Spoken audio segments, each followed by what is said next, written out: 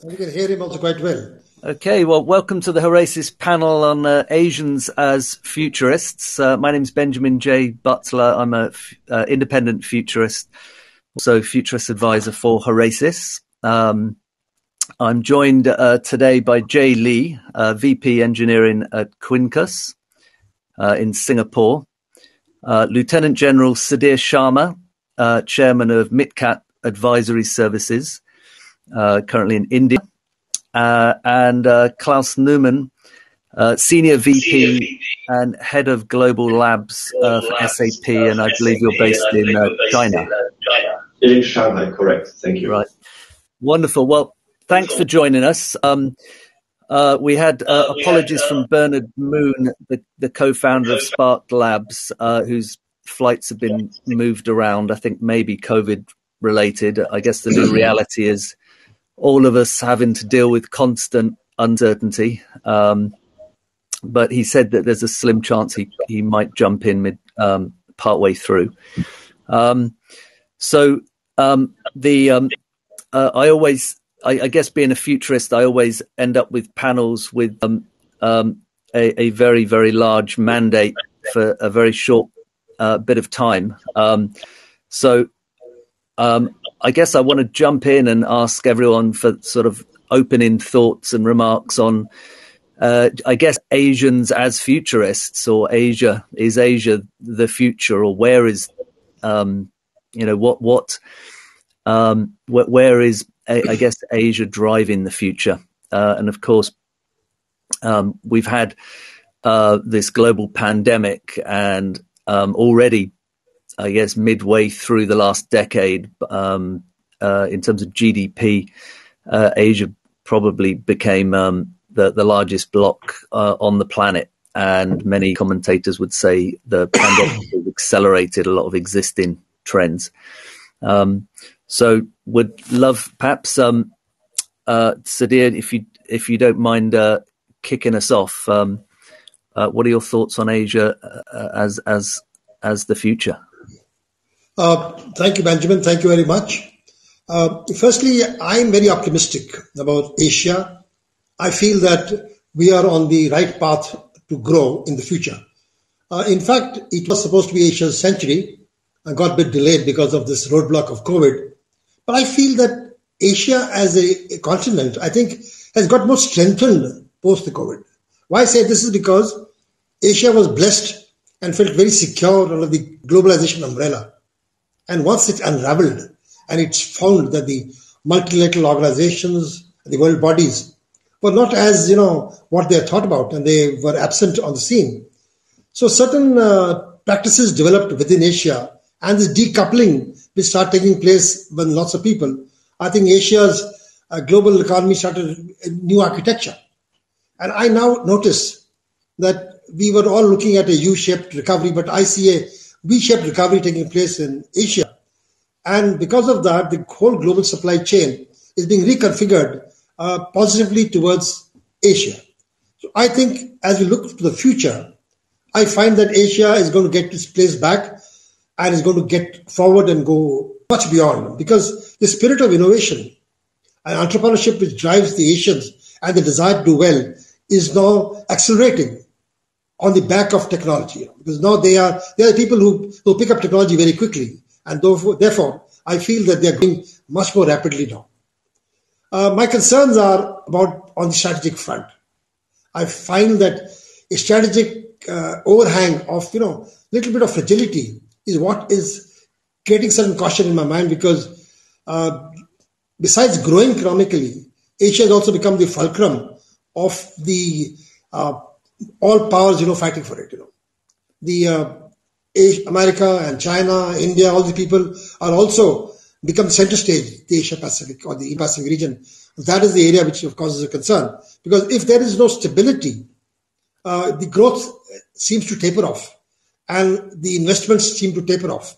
And it needs a lot of financial uh, investments for it to become what it should be in the future. So to that extent, the strategic weakness of the region based on the tension which are building up as becoming a, you know, is what causes me concern about the money coming to it. And finally, a climate change uh, which is concern of everybody, and COP26, which I believe, Benjamin, you were there too.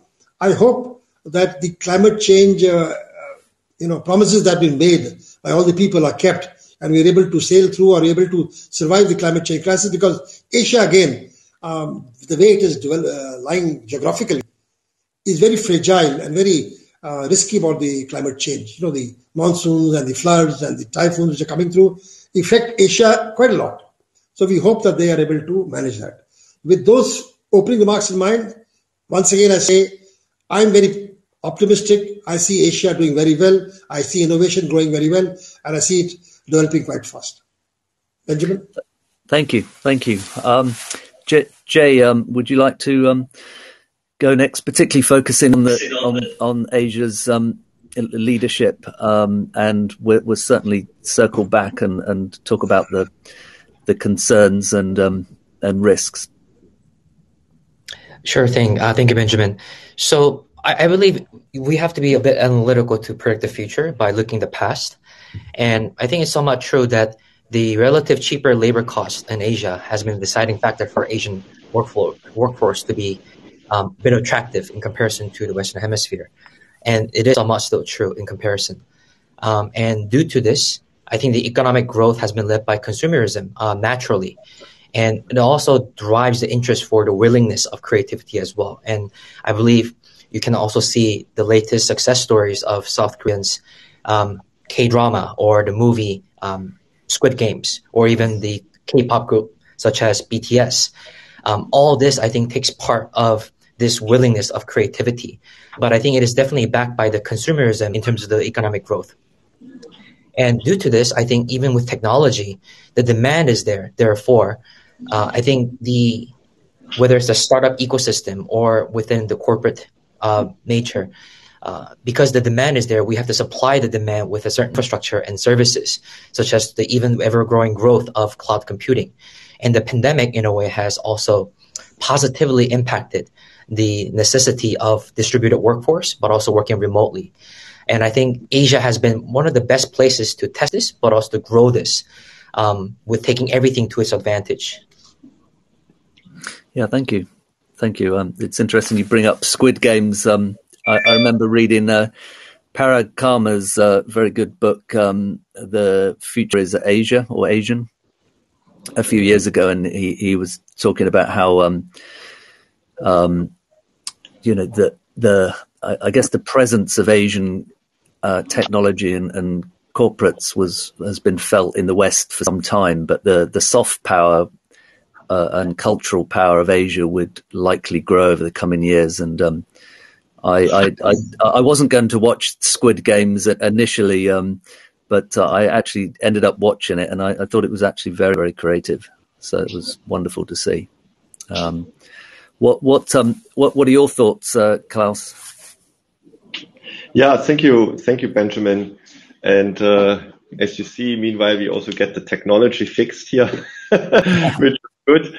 Um, and it fits well to the topic. And uh, first of all, thanks thanks for having me on this panel. And uh, sitting here in Shanghai, right? I mean, I just um, got here the uh, this more new uh, green travel code uh, we have three COVID cases in Shanghai since yesterday, and now behind the cities I have visited, Beijing is there, and then there's also now Shanghai is a little star, right? And that star now says, okay, this person has been in a city of medium risk, right? So that is the information for, let's say, certain venues you want to enter outside of Shanghai, of course, or uh, in, in other cities across the country.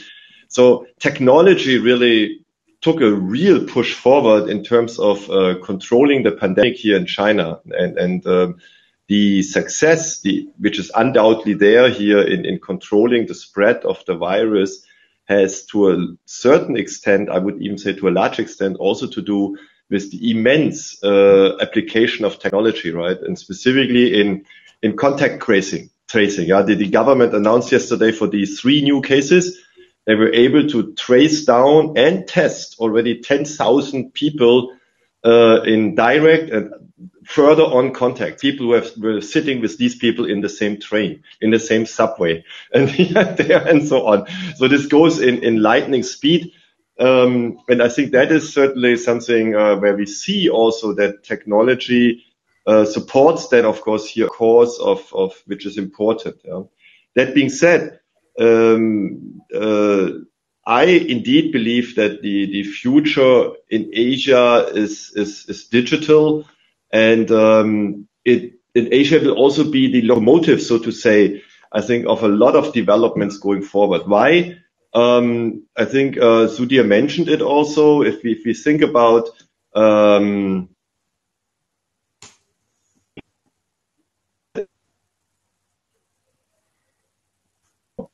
somewhere in that range, yeah. Uh, obviously, if we if we are not able to create the future here in these countries, also India is such a country, but also many of the Southeast Asian countries, uh, the, the globe cannot develop further, right? And this is uh, therefore also, I think, at the forefront here of the societies. Yeah? And, and um, therefore, there is a constant not only push but also acceptance then for new technologies in in that uh, respect. Mm.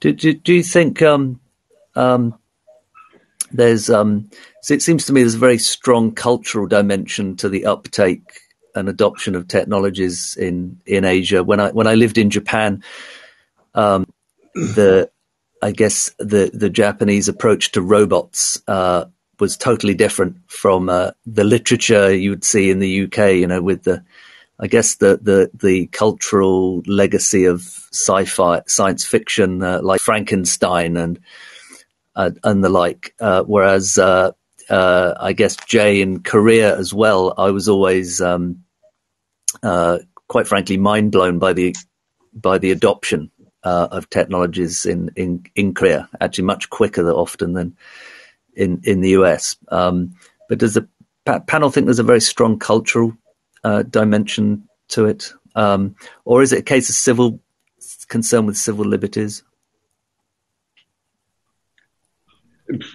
Yeah, maybe I I start. I mean, my experience, uh, I have been living in China now 10 years and before in India, uh, I also lived there for 12 years, is of course that there's a huge uh, willingness to, to, adopt, to try new technologies. And uh, probably uh, in, in China due to the the massive availability also let's say of smartphones for consumer there's much more also happening here and um, therefore I believe indeed there is a cultural element to this that works if we think about future adoption of, of new technologies works in the favor of Asia overall, at least for most nations and cultures I have experience. And, and I have not been now in all the countries as a citizen, but at least uh, also being around in, in most Asian countries. Mm-hmm.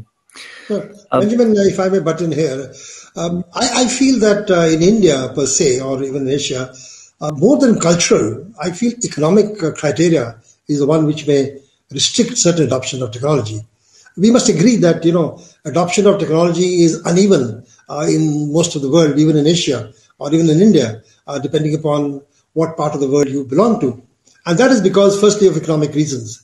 And culturally, I think uh, in places like India and rest of Asia, I think everybody is very keen to adopt technology which will better their quality of life, whether it is the, for the family or whether they can grow better or they can grow you know, richer. Or corporates adopt it because of business reasons and all. But there is a, a certain race to uh, adopt technology. I give you an example. In, in India this year, in November till November uh, yesterday, there were 40 unicorns created in one year, which means a billion dollars and more in investment. Last year we had 32. So today we have 80 unicorns in India in the last two years, which is quadrupled in the, from the last five years. So there's a quantum jump taking place and all the unicorns that I noticed, 80% of them on the, are riding on the back of new technologies. You know, all of them are e-commerce or e or digital, like uh, Clas said. They adopting digital technologies to create these unicorns, and the people are putting money into it. So I feel that uh, adoption of technologies by Asia per se and countries like India, China uh, is going to be a lot driven by economic factors that needed to grow with. And I think as we move towards a richer and richer Asia, uh, the technology adoption is going to increase rapidly. Uh, that is my feeling, and I hope that continues with it. We'll come back uh, to the cyber part of it later on, Benjamin, but this is what my take is. Got Thank, thank you. Um, any thoughts, Jae? Uh, yes, if I may add maybe a few more words to this. Uh, I would like to take example of South Korea and Japan. When you look at Japan since the 80s and up until 90s, uh, there was very hyper growth. And the, I think the growth was led by adoption of technology and the Western culture and everything was further developed. Whereas in Korea, even through the 88 Olympics, I don't think it was anywhere near comparison to Japan. But if you look at Japan and Korea today, um, not to say that this this side has switched in terms of who is more further developed, but I think focus has been different. I think what led really Japan back in the 80s and 90s for growth was really leveraging the cultural aspect of obedience. So as a South Korean native, I believe South Korean people are less obedient than Japanese, culturally speaking. Mm-hmm. And that was actually very beneficial to grow, such as manufacturing kind of de- development or economic growth. Whereas in today, um, the culture and the society of South Korea being less obedient from Jae's point of view, I think drives this tactical mindset that we have to come up with something new, something that is attractive, that is out of the box, which could be a little bit different in terms of the willingness of creativity that comes from Scandinavian countries in terms of design firms. So I believe that's a different category. But the creative willingness, I think, also comes from the society where people are kind of less obedient than the next door neighbors as Japan. And maybe today, South Korea, as one of the growing economies, are benefiting from this kind of cultural aspect. Yeah, so creativity is a um, thanks for those words. Um, I was going to uh, do a round on what what technologies do, do you think will be the, the drivers for, for Asia over the coming uh, over the coming decades? Um, I, I've been involved in a number of organisations, and I sat on a council for the quantum computing once, and um, I'm far from an expert, but I was um, uh, quite incredulous that the, the Chinese had made so many uh, breakthroughs on such a an important te- technology, um, and of course AI and, and some of the fourth or, or uh, technologies of the fourth, fifth industrial revolution, or where, wherever we are now.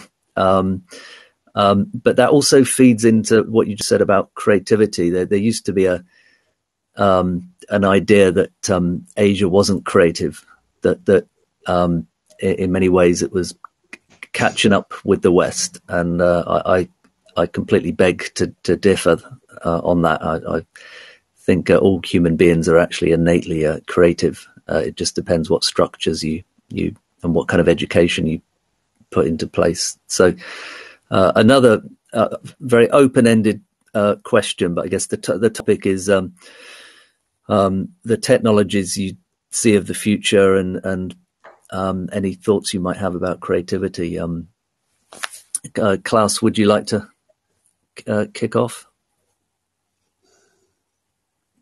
Happy happy to kick off. Thank you. Um, I mean, we have um, for our firm here, right, uh, several thousands of engineers who work here on uh, technology, and and uh, so therefore there's no doubt that I also personally, of course, believe very strongly in the creativity of Asians, and specifically in this case here of, Chinese. But we have actually even more thousands of people in India and also labs in Japan um, and Korea. Yeah, so and and that is probably also uh, to to echo was what um, Jae said, right? Uh, creativity exposes itself in, in different forms depending on the culture, and and what we try is really to to capture the best, so to say, uh, of each culture, and in the merging of that create a new level then of, of innovation. Yeah, that just by doing something in just one cultural context probably wouldn't be so successful or also not so relevant then for the rest of the world. Uh, because uh, I mean, why why did we go out in the first place? We we were world leading company by having most of our engineering like 20 years ago in Germany. Uh, but then it appeared also to all of us back then, hey, that can't be everything, right? I mean, uh, it cannot be that the future of the whole world in terms of how businesses run lies with an engineering, um, let's say, intelligence uh, in southern Germany. Uh, and it was also pretty clear that we can't get the best talents from around the globe to one single place. So let's go out there. And therefore, um, I'm a strong believer in, in the diversity of creativity, in differences, how people think, and also come to solutions, right? Like my experience in India was always there is always a solution to everything. And uh, often people try things out, right? And, and by that also getting into the next step, right? Uh, in, in other countries, here it's more like, let's think it first through, right? And, and start maybe a little later. Yeah. And then, but you have maybe then a, a higher passion, right? Or what, what Jae said, right? In terms of obedience to what is being told by someone, right? Whether it's my professor or whether it's the government, right? So all of these things are different. And, and if you, if you develop that skill to bring it together, that's the best you can do. Right. Yeah, thank you. Thank you. Uh, Sudhir, do you have any uh, yeah. comments? Uh, I've got a few thoughts in my mind. Uh, firstly, I will agree with uh, Jae and Clas that creativity grows in an environment in which you are in. Uh, for example, when he gave the example of Japan adopting technologies and Korea adopting technologies, lots of technologies in Germany and these places were, were developed because of uh, reducing the man load. You know, they wanted to create robotics or manufacturing, automated all the processes in the factories where the uh, people were less, and they wanted to create uh, a situation where they could do so, and that spurred a lot of technologies. And in India, uh, because of the availability of young population in large numbers, the creativity did not move towards that direction, but moved in a different direction altogether, and that created a different kind of you know ecosystem in India, and that's how creativity build up. As far as technology is concerned, I, I noticed that in India, a lot of emphasis is being given on artificial intelligence is one part. And uh, I think that's going to be one of the driving forces of Indian economy and Indian growth in the next five years as we move towards a $5 trillion economy. AI is going to play a big role in creating uh, this thing. Second thing which I notice is that energy transition countries like India, China, Japan, which are dependent upon still fossil fuels and other things to create energy, are doing a lot of technological innovations in you know creating uh, rules to go to energy transition and going more and more toward renewable energy, and where we can meet the UNDP's uh, climate change goals, plus create for self-sufficiency. So technology towards battery storage, electric vehicles, and that is again driving India forward. And I think next few years energy transition is going to be another area where we're going to be working on. And finally, uh, work has started already on climate change, how to create technology in India so we're able to meet the carbon neutral goal. So that innovations and things are already start building up. I hope it pick up momentum besides quantum computing and all these things. And therefore I see in Asia, uh, early adoption of lots of technologies this time as compared, like I said, to the West, where we used to, you know, follow all the time. This time I think we may be leaders in some of the technologies at least, I'll start trying to catch up. That's my hope and that's my prediction. Mm, thank, thank, you. Thank you. Um, uh, Jae? Uh, yes, Benjamin. I think there are two different parties here that I feel that would drive the techn- technology innovation and the demand. One is on the governance side, the other is in the private sector. I think the private sector is pretty obvious with remote work and distribution workforce. Um, the need to work smarter uh, to be able to be effective and efficient, um, to overcome maybe the trust factor because we're not physically within proximity anymore. So I think that's the obvious growth in terms of um, the the labor force being able to enable itself with this new pandemic, even post pandemic wise as well. But I think there's a second category which is smarter governance, which come from policymakers or governments now, I will personally hope that these two parallel will be aligned to the same direction, so it doesn't contradict. Um, going back to earlier point, because if the government's led or policy led technology is trying to not just be smarter in terms of monitoring and analyzing to make more effective policies, but if it's more stewarded towards to um, more obedience in terms of governance, I think that interest could be a bit contradicting with the private sector wanting to equip itself with more thinking out of the box or going beyond or bending the rules. Mm-hmm. Thank you. Interesting. You know, my um, I, I, I very much believe in in looking at um, aggregate data and empirical evidence, but um, uh, sometimes anecdotes are very powerful. And um, I, I, I became very concerned. I mean, I'm a, a global citizen first and foremost, but I, I came became quite concerned about the prospects for uh, Western Europe and the USA when I, I saw a survey of what um, teenagers wanted to become when they uh, graduated, and I think it was young teenagers. And um, in um, in China, the the number one career was uh, to become an astronaut. Uh, uh, unfortunately, in the UK or the USA, the number one uh, aspiration was to become a social media influencer. and at that point, I thought, oh, oh dear, um, I'm not sure um, whether we're going to drive the next uh, round of um, uh, of technologies. Um, I um, I was going to ask, but before we dip into risks to to to, to Asia going forwards. Um, I was wondering whether whether you discerned any uh, shift in governance of or, uh, of corporations themselves. Um, so, um, a, f- a few years ago, we started to see literature, management literature, promoting uh, self-organizing systems. Um, there was a, a book by uh, a an ex uh, McKinsey consultant from Europe called uh, Reinventing Organizations, um, Frederic Laloux. And um, there, has been a lot of discussion about uh, bringing power, uh, decentralizing power in organizations, and um, uh, more sort of bottom up um, power, autonomy, responsibility. And um, it it seems to have taken off to a certain extent in Europe and, and the US. Um, is this? Do you think this will be a trend in, in Asia as well? And and could this um, be conducive to a more creative environment? Uh, I don't know, Carl, whether you want to kick off. Uh, yeah, Benjamin, thanks. I believe there are two aspects to this, right? I mean, uh, one is just decentralizing uh, boardroom decisions, so to say, uh, and and uh, giving more empowerment in general to the next line and the second line and so on, uh, and encouraging also bottom-up initiatives.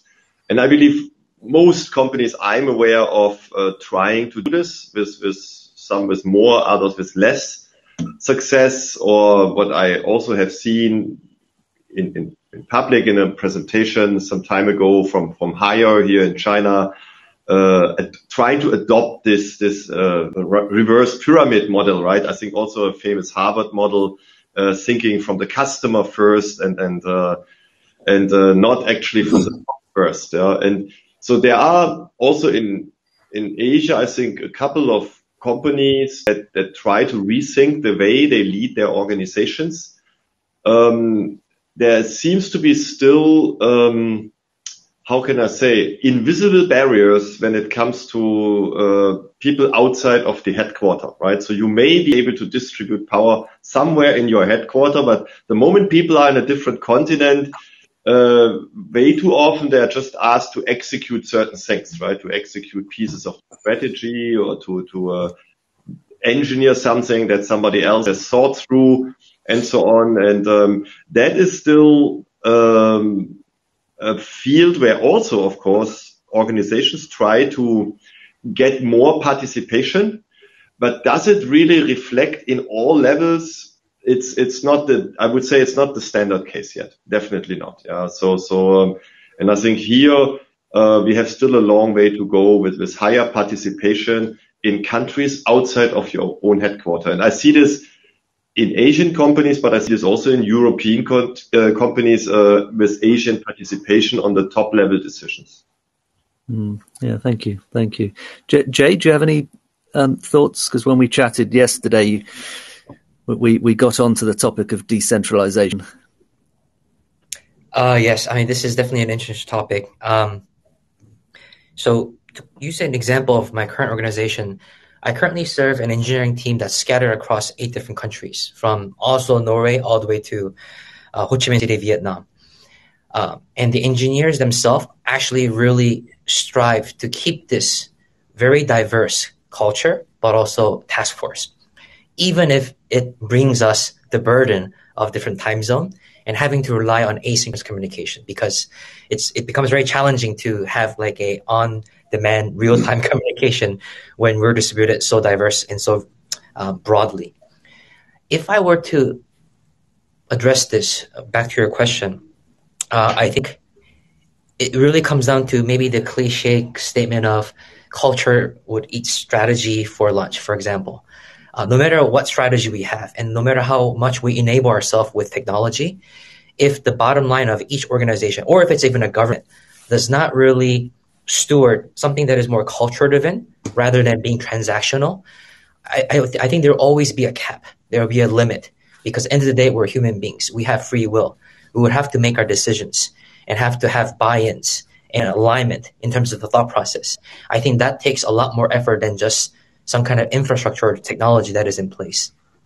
Mm-hmm. Yeah, thank you. Uh, and I'm definitely a proponent that culture drives uh, everything. Um, so, Sudhir, I I would um, um, given the, the interest of time and you being um, our resident um, expert on military scenarios, um, please, by all means, please comment on the last question. But I, I was actually going to ask uh, ask you. Um, we we discussed some of the risks for Asia yesterday on um, in in our call, um, and um, geopolitical would seem to be one of the largest risks out there. Um, and um, I think it surprised a lot of people in the business community when this sort of nascent Cold War or rift between uh, China and the USA em- emerged. Um, I guess when uh, Trump became president, um, how how serious is it? Uh, and um, what um, I'm sure internally you do a lot of scenario analysis and even assign probabilities to certain events. Um, it seems that the world is now getting quite concerned about Taiwan. Um, and, and, any thoughts? Yeah. Uh, firstly, I would like to say that uh, purely from a risk matrix, uh, the last few years, the risk has increased from the past few years. I would say that if you compare it from the pre-pandemic and the Trump era, Biden era, uh, the risks have increased.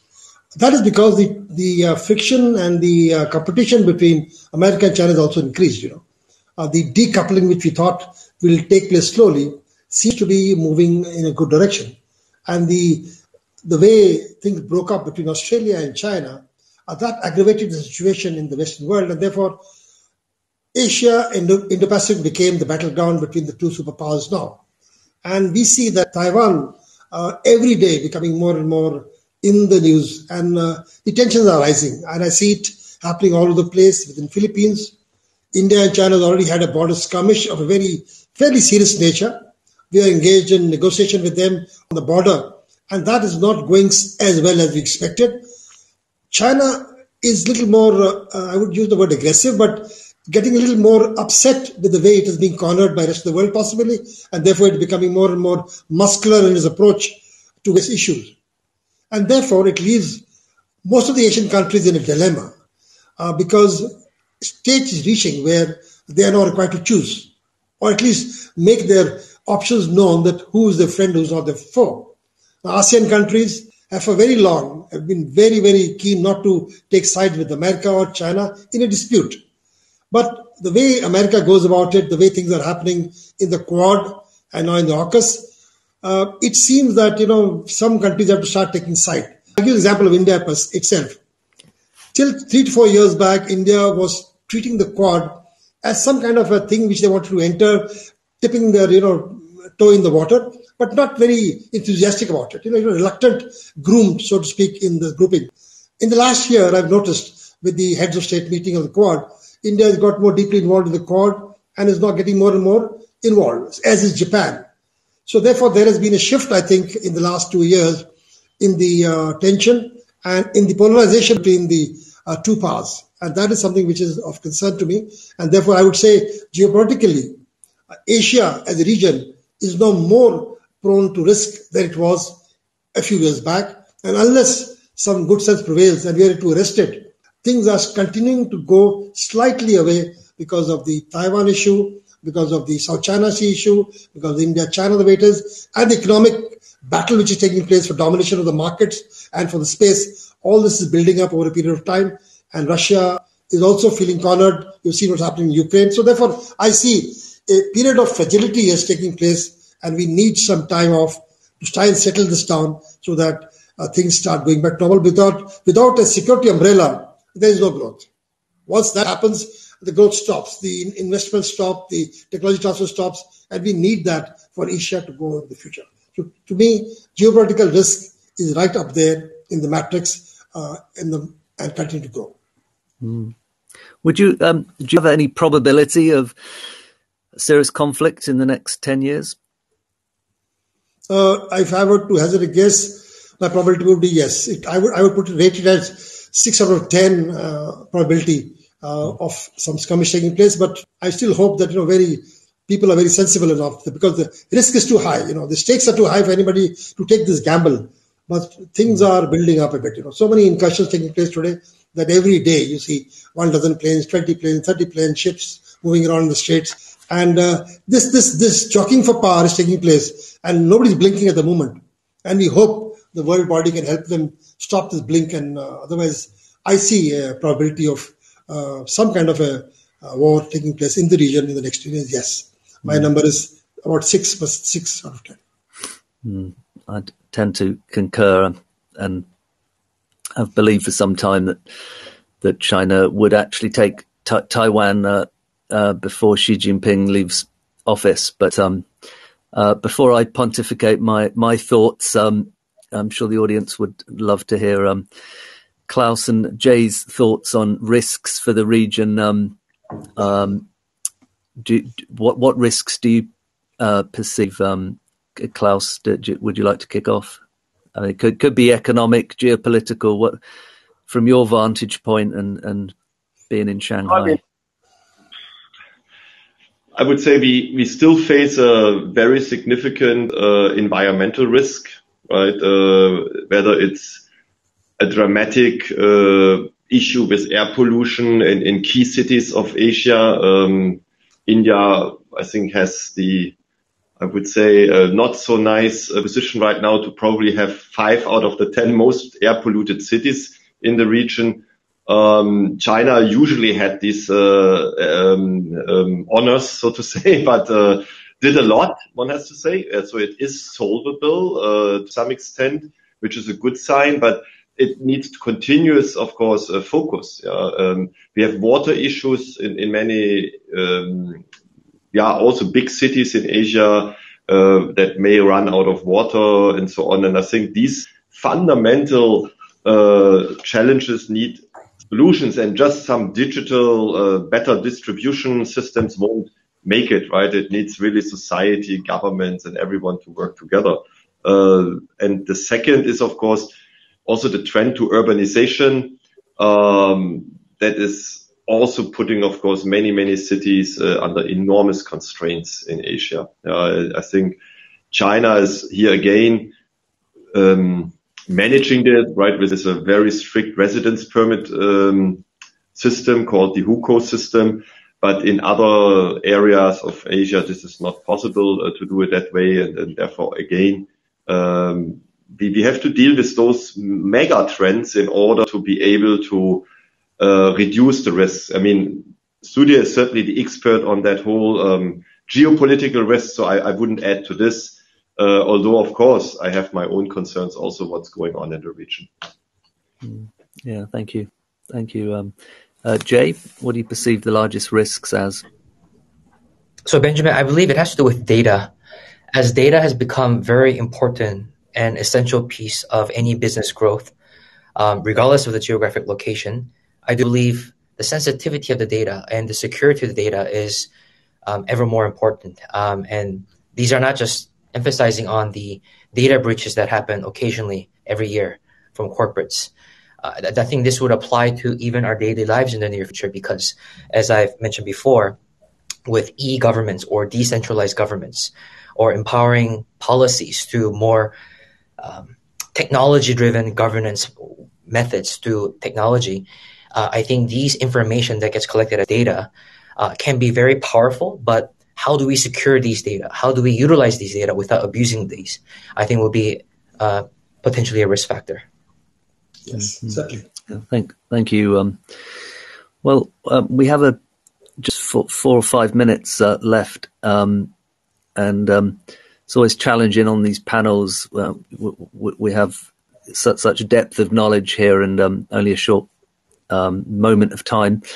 Um, but maybe if, if you'd like to reflect on anything that's been said and make any concluding re- remarks, and I'll, I'll I'll um, invite you, Sudhir, first. Um, uh, and, and, I know you, um, to Jae's point, you were talking to me yesterday about yes, cybersecurity. Yeah, I would like to, uh, you know, add that. You know, firstly, uh, you know, we look at Asia as you know three distinct parts. You know, Northeast Asia, Southeast Asia, South Asia. They all seem to be three different territories behaving in a slightly different manner from geopolitical angle.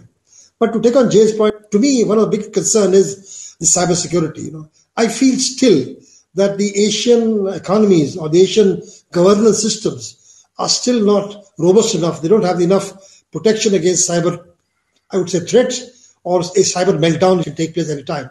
What you talked about data privacy and data management. I, as we grow more and more digital and IoT builds up, I see it is a big risk and um, lots of small nations could be at the mercy of somebody who's better at you know getting to it. So to me, that's an area of major concern that unless we're able to solve the cyber story, we go forward, we need to spend a lot of money, a lot of technology to create data security and cyber security on the area. And finally, ecological. I mean, we need to work hard in Asia to ensure that we don't come to ecological disaster. And that is the third risk, which I feel geopolitical, cyber, and ecological risk. These three are going to be a big concern for all we go forward. Thank you. Great. Th- thank you. Thank you. But net net, you you you say that you're optimistic despite all these challenges. Me, yes, uh, yes I, am yeah. optimistic because I see the resilience of the Asian. You know, for generations, you know that that culture point that he talked about, Jae talked about, and Clas talked about. The culturally, the Asians are very resilient people. They seem to you know thrive in adversity. So therefore, I feel that despite everything which is happening during the pandemic and afterwards, when I go around and see a positive step, everybody seems to feel that they can get out of the because they are used to handling this. So that gives me a lot of courage, a lot of hope. Young population, positive looking, and they have uh, they they they to risk anything to do anything. They give me a lot of hope that Asia as a future is secure because of the resilience of the people of uh, Asia culturally. They need to they will survive. Yeah, yeah, I I um, concur with you on that that front. Um, Clas, um, uh, what are your concluding thoughts?